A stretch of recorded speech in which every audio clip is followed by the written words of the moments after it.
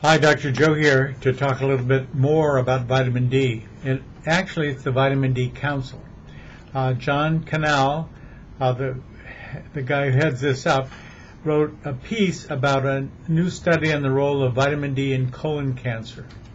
And it's very interesting, not only for what it says, what it does, and the explanation how it works uh, to prevent colon cancer and how it's involved with all elements of the colon cancer you'd like to not get. Uh, so the link below is going to tell you exactly uh, how to get uh, it into your PC. So I think you'll love it. It's really going to be interesting. They also talk about talk about subscribing, and I really would. It's free.